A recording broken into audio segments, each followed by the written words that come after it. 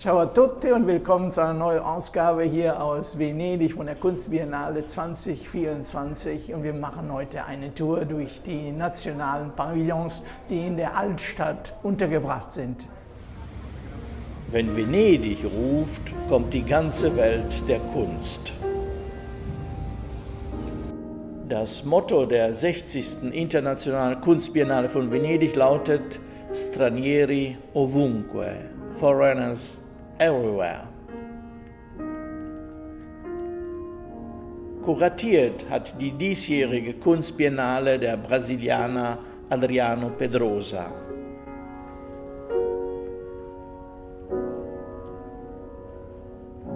Das Schillernde und Bunte der sogenannten Dritten Welt ist überall in der Stadt zu sehen. Parks verwandeln sich in Freiluftpavillons. Das Thema Krieg ist natürlich allgegenwärtig.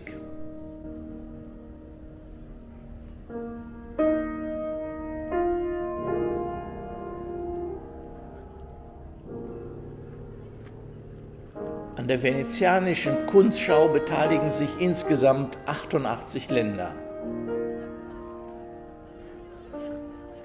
Nicht nur in den historischen Pavillons, in den Giardini und im Arsenale, sondern auch in den vielen Palazzi der Altstadt Venedigs.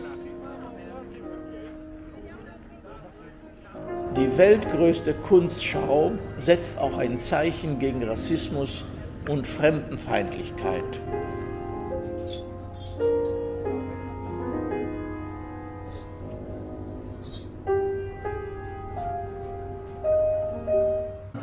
Die Biennale d'Arte Moderna 2024 versteht sich ausdrücklich als ein Forum für junge Künstler.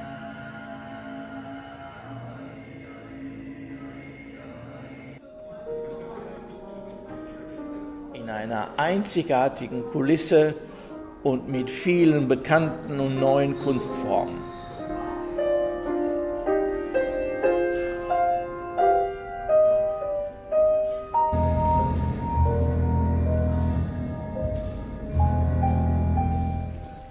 Auch dieser französische Beitrag geht neue Wege. Auf einer Luxusjacht werden die vielen Facetten des Mittelmeeres präsentiert. Mit seinen Menschen, Bildern und Geräuschen.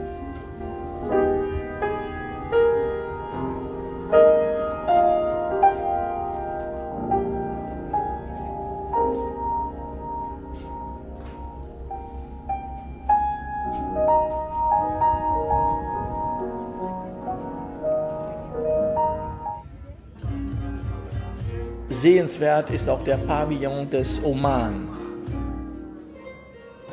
Eine künstlerisch sehr gelungene Symbiose zwischen Vergangenheit und Gegenwart.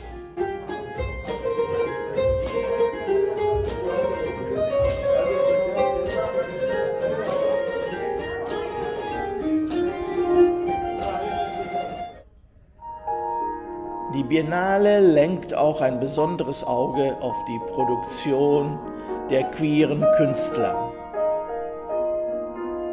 Hier gibt es beispielsweise eine legendäre Fotoretrospektive von Peter Hugère zu sehen.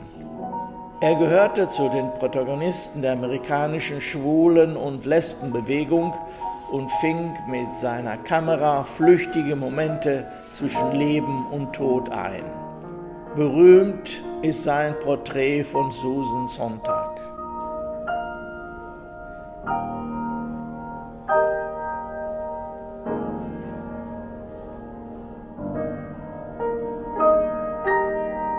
Augenmerk gilt auch der Außenseiterrolle der Künstler. Gerade sie sind die stillen Protagonisten der sogenannten Volks- und Populärkunst.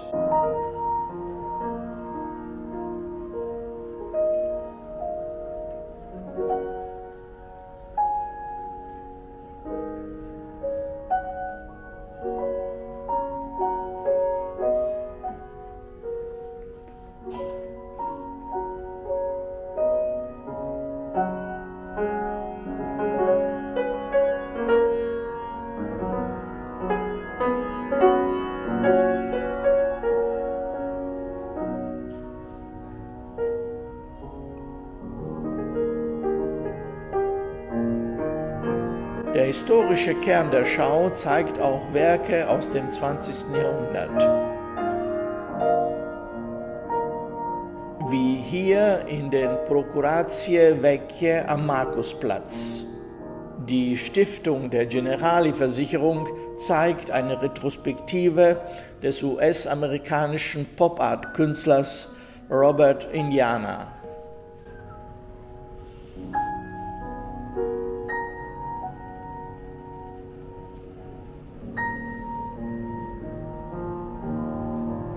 Bekannt wurde Indiana durch seine plakativen Zeichenbilder.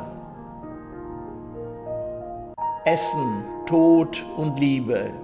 Diese Motive hat Indiana immer wieder variiert.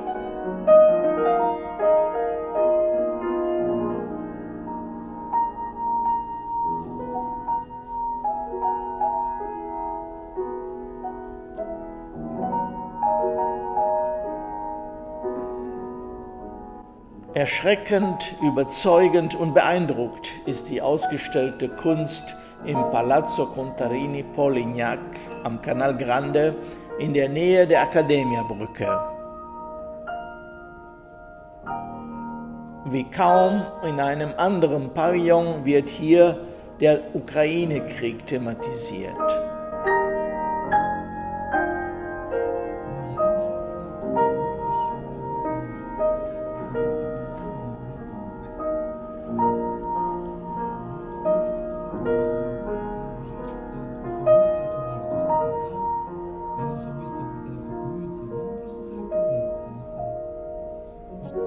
Das Motto der Ausstellung, die die Viktor Pinchuk Foundation verantwortet, lautet, den Traum wagen in einer Welt ständiger Angst. Überall herrscht jedoch Krieg, Tod und Zerstörung vor.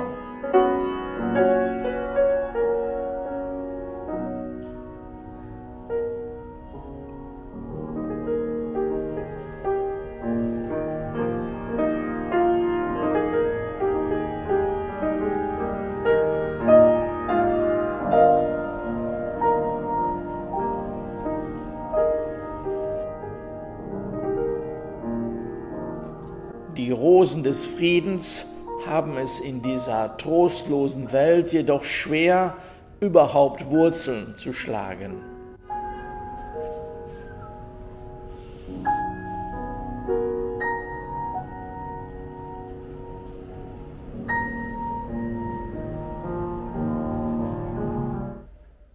Vergesst bitte nicht, unseren Kanal zu abonnieren, falls es euch gefällt. Und vergesst auch nicht, unsere Posts zu kommentieren. Und damit, arrivederci alla prossima.